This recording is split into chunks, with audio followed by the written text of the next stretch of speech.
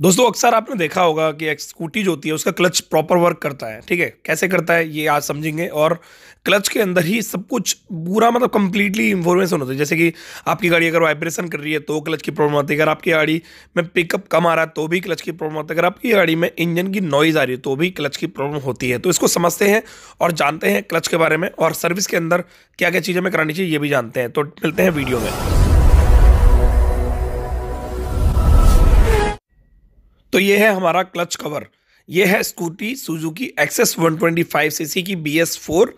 B S four और B S six के दोनों के क्लच की जो मतलब एक परफॉर्मेंस होती है, दोनों की सेम होती है। एक तरह से मैं कह लूँ कि एक प्रॉपर मैकेनिज्म ठीक है?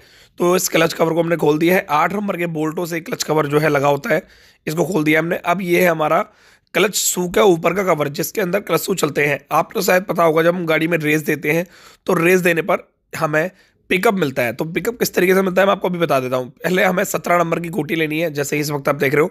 इस गोटी के ज़रिए हम अपने क्लच को खोल सकते हैं ओपन कर सकते हैं। अगर आप कहीं बाहर हो तो आप सत्रह नंबर की गोटी को ले जा सकते हो, कहीं टूर एंड ट्रैवल कर रहे हो आप, बाहर जा रहे हो तो इस गोटी के ज़रिए अपनी गाड़ी के क्लच को खोल सकते हो, ठीक है? इसका जो क्लच खुलेगा एंटी क्लॉक वाइज खुलेगा इसका, ठीक है? तो काफ़ी सारे नेटवर्क होते हैं जो क्लॉक वाइज भी खुलते हैं बट इसका एंटी क्लॉक वाइज खुलेगा। तो इस कवर को हम बाहर निकाल देंगे, यह होती है वार्सल इसकी, ये सामने वार्सल हमने निकाल दी है। और ये है हमारा कवर जब भी आपकी गाड़ी में आप रेस दे रहे हो और पिकअप मिल रहा है तो वो सिर्फ़ इसकी वजह से मिलता है। ये जो वार्सल है, इसके नीचे जो ये कटोरा है, इसकी वजह से मिलता है, ठीक है? क्योंकि जो क्लसू होते हैं रेस देने पर क्लसू ओपन होते हैं और ओपन होकर इसमें चिपक जाते हैं। ये अगर आप रेस नहीं दोगे तो ये फ्री घूमता है। और अगर आप रेस दोगे तो ये चिपक के घूमता है, जिसकी वजह से हमारी गाड़ी का व्हील पीछे का काम करता है, ठीक है? अगर आपकी गाड़ी में पिकअप प्रॉपर नहीं मिल रहा है तो आप समझ जाओ, आपकी गाड़ी के अंदर कहीं ना कहीं इसका भी रीज़न हो सकता है। अगर ये ज़्यादा चिकना हो जाएगा अंदर से, जैसे कि इस वक्त देख रहे हो तो भी आपकी गाड़ी में पिकअप कम आएगा। अगर आपकी गाड़ी में इसमें गड्ढा पड़ जाएगा तो भी आपकी गाड़ी में कम आएगा। अगर आपकी गाड़ी के क्लच बार बार ख़राब हो रहे हैं तो भी आपकी गाड़ी में ये ख़राब हो जाता है। अगर आपकी गाड़ी में जो गाड़ी आप पानी मतलब धूल मतलब उसमें ले जा रहे हो पानी वानी में तो उसमें पानी पड़ जाता है और ये प्रॉपर तरीके से वर्क नहीं करता है, जिसकी वजह से हमारे क्लच स्लिप होते हैं। तो ये भी आपकी गाड़ी की सबसे बड़ी समस्या हो सकती है। तो अभी सबसे पहले हम दिखाते हैं आपको आगे का प्रोसेस और ये हमारा देख रहे हो, इसके अलावा आगे का प्रोसेस दिखाते हैं जो नॉर्मल मोटरसाइकिल होती है, जिनमें गेयर लगे होते हैं, उनमें जब हम किक मारते हैं तो हमारी गाड़ी के अंदर गेयर गाड़ी घूमती है और हमारी गाड़ी स्टार्ट हो जाती है। बट इसके अंदर मैकेनिज्म थोड़ा सा दूसरा होता है, थोड़ा अलग टाइप का होता है। इसमें एक नट के ऊपर किक काम करती है, मैं आपको दिखा देता हूँ।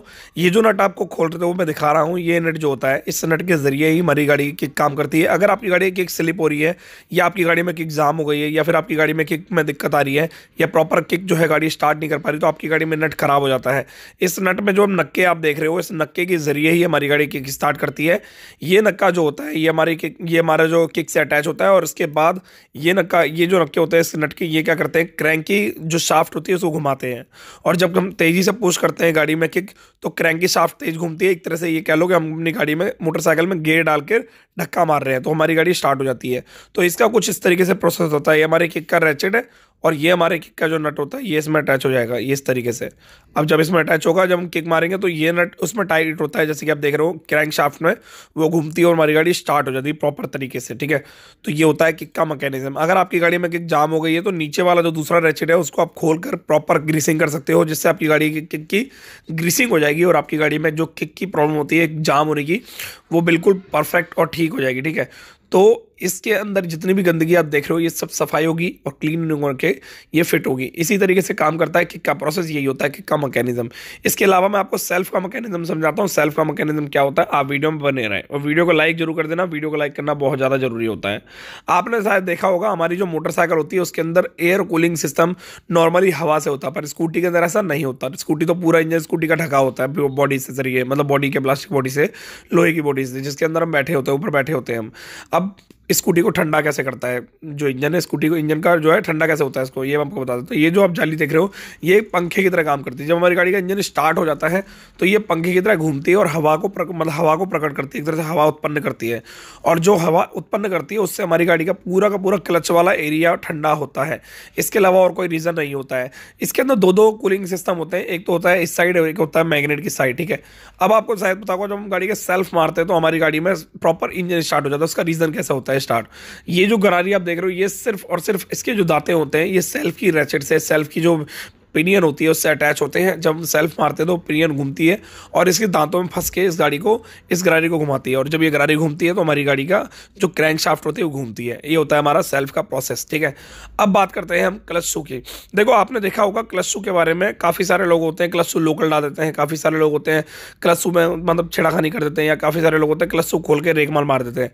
तो वो ऐसा करते क्यों है? सबसे पहली चीज़ तो ये है कि हमारी गाड़ी के अगर क्लच शू प्रॉपर सही नहीं होंगे घिस जाते हैं तो हमारी गाड़ी में पिकअप नहीं आएगा। जैसे कि अभी आपको मैंने थोड़ी देर पहले बताया था कि क्लच कटोरा होता है, उस कटोरे के अंदर जाके ये क्लच शू खोलते हैं और उसके बाद आपकी गाड़ी स्टार्ट होती है पिकअप लगता है। तो ये क्लच शू का ही मतलब होता है मेन मतलब मेन जैसे कि हमारी गाड़ी में हम पीछे की ब्रेक मारते हैं और हमारी गाड़ी का एलोविल रुक जाता है, क्योंकि ब्रेक खुलते हैं, ऐसे इसके अंदर होता है एक्सीटर देते हैं तो ये खुलते हैं और अंदर का जो शाफ्ट गरारी मतलब अंदर का जो कटोरा होता है, वो प्रॉपर जाम हो जाता है और जिसकी वजह से हमारी गाड़ी आगे की घूमती है।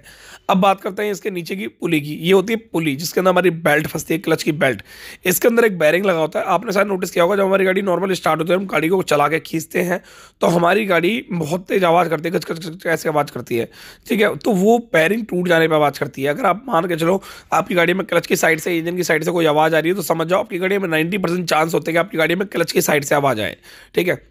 अब बात करते हैं क्लच की बेल्ट की। काफ़ी सारे लोग होते हैं, वो इंजन मतलब क्लच के अंदर बेल्ट लोकल डाल देते हैं। लोकल बेल्ट क्या करती है? लोकल बेल्ट ये जो चटकने आप देख रहे हो चटकने वाली प्रॉब्लम, ये ये जो चटकने वाली प्रॉब्लम, ये है ओरिजिनल बेल्ट बट ये ओरिजिनल बेल्ट जो होती है, वो बहुत टाइम तक चलती है और इसमें ऐसी कोई दिक्कत आती नहीं है। बट लोकल बेल्ट में क्या होता है? लोकल बेल्ट में हज़ार, दो हज़ार, तीन हज़ार किलोमीटर पर वो चटक जाती है और रस्ते बीच में परेशान हो जाती है। लोकल बेल्ट ज़्यादातर जो गाड़ियों की होती है, वो मतलब जैसे कि जो गर्मियाँ होती है, उन गर्मियों में लोकल बेल्ट जल्दी चल नहीं पाती, वो गर्मियों की वजह से ख़राब हो जाती है, जल्दी टूट जाती है। और लोकल बेल्ट टूटने से आपकी गाड़ी के अंदर का जो इंजन का पुर्जा उर्जा होता है, सारा टूटने के चांसेस भी बढ़ जाते हैं। तो इसका ध्यान रहे और लोकल बेल्ट ना डालें। लोकल बेल्ट डालने से आपका नुकसान है। मित्सुबिशी की कंपनी की इसमें बेल्ट लगी होती है मित्सुबिशी ठीक है? अब ये बुस है इसका और यह है क्लच वेरिएटर ये हमारा बुस है। अगर एक घिस जाएगा तो आपकी गाड़ी में बड़ बड़ बड़ बड़ दिक्कत आएगी। और ये है वाइब्रेशन कंट्रोलर एक तरह से वाइब्रेशन कंट्रोलर बोल सकते हो इसको आप। ये होता है वेरिएटर अगर आपकी गाड़ी में वाइब्रेशन हो रही है, या मान लो आप गाड़ी को उठा रहे हो पिकअप देके और गड़गड़ गड़गड़ गड़गड़ आवाज़ आ रही हो, फिर उठ रही गाड़ी। तो इसका मतलब होता है आपकी गाड़ी के वेरिएटर में दिक्कत आ रही है। ये होता है वेरिएटर ये हर किसी स्कूटी के अंदर लगा होता है और ये जो रोलर इसके अंदर आप देख रहे हो, अगर आपकी गाड़ी का रोलर जो है वो प्रॉपर टाइम पर साफ़ ना हो ग्रीसिंग ना हो क्लीनिंग ना हो तो आपकी गाड़ी का वेरिएटर कट जाएगा, जिसकी वजह से आपकी गाड़ी में जैसे ही गड्ढे में जाएगी और उठाओगे, आप गड़गड़ गड़ करके उठेगी और आपकी गाड़ी में पिकअप प्रॉपर मात्रा में आपको नहीं मिलेगा और सबसे ज़्यादा जैसे ही आप रेस दोगे वाइब्रेशन बहुत ज़्यादा करेगी गाड़ी और आपकी गाड़ी फिर बाद में आपकी गाड़ी पिकअप लेगी। तो ये जो गोलियाँ में देख रहे हो, आप रूलर जिसे कहते हैं, ये रूलर और ये वेरेटर इसका बहुत ज़्यादा महत्वपूर्ण होता है ये सब चीज़ें। जब भी आप इंजन का काम करवाते हो तो वेरेटर को अगर ख़राब है, कटा हुआ है तो इसको चेंज ज़रूर कराएँ। और इसके अंदर बुश जो देख रहे हो, इस बुश के अंदर, अगर ये बुश घिस गया है तो उसको चेंज करा ले। बुश अलग से मिल जाता है। या फिर इसका बुश आप खराब वाले से ही बनवा सकते हो, या फिर इसे चेंज भी करा सकते हो। बात करते हैं रोलर की। ये जो टोटल आप छः रोलर देख रहे हो, इस छः के छः रोलरों के अंदर अगर एक भी रोलर कटा होगा तो आपकी गाड़ी में प्रॉपर तरीके से जो एक पिकअप होता है, वो नहीं मिलेगा। और उसके अलावा, अगर ये रोलर लोकल डालोगे तो इसके अंदर क्या होता है, दो जॉइंट होते हैं। एक बीच वाला जॉइंट ब्लू कलर का देख रहे हो, और एक ऊपर वाला जॉइंट व्हाइट कलर का। अगर आप लोकल डालोगे तो दोनों जॉइंटों में से आपस में प्ले आएगी और आपकी गाड़ी वाइब्रेशन की प्रॉब्लम और ज़्यादा बढ़ जाएगी। शुरुआती दिनों में कुछ ऐसा होगा नहीं, पर एक ऐसा टाइम आएगा जब आपकी गाड़ी में ये दिक्कतें बढ़ती चली जाएँगी। तो आप खासकर रोलरों को ध्यान दें और अपनी गाड़ी में साफ़ सफ़ाई का भी ध्यान दें। जब भी हम क्लच खोलते हैं या सर्विस करते हैं तो हम क्लच का ध्यान नहीं देते हैं। क्लच का जो चार्ज होता है, वो अलग से लगता है। ज़्यादातर मैकेनिक अलग से लेते हैं। अगर मैं अपनी वर्कशॉप का तो मेरी वर्कशॉप पर भी अलग से लगता है चार्ज जो होता है क्लच का। बट क्लच का काम कराना बहुत ज़्यादा ज़रूरी होता है। क्योंकि क्लच भी एक ऐसा पार्ट होगा, जैसे कि आपकी गाड़ी का एयर फ़िल्टर अगर हम एयर फ़िल्टर को क्लीन करा रहे हैं तो हमें क्लच को भी क्लीन कराना पड़ेगा। क्योंकि जब पर गाड़ी रोड पर चलती है तो क्लच के अंदर बहुत ज़्यादा धूल मिट्टी बढ़ जाती है। और वो धूल मिट्टी धीरे धीरे करके क्लच के पार्ट को जितना भी धीरे धीरे काट देती है तो इसका हमें ध्यान देना है, ठीक है?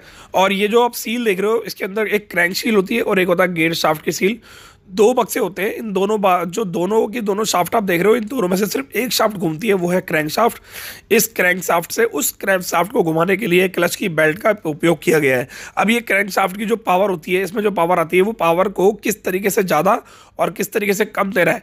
जब एक्सेटर ज़्यादा घुमाते हैं तो क्रैंक शाफ्ट ज़्यादा तेज घूमती है और हमारी गाड़ी बेल्ट प्रॉपर ज़्यादा घूमती है, जिसकी वजह से हमारी गाड़ी में गेयर बक्से में पावर आती है और हमारी गाड़ी का पीछे का टायर प्रॉपर तरीके से घूमता है मतलब एक बूम करके घूमता है।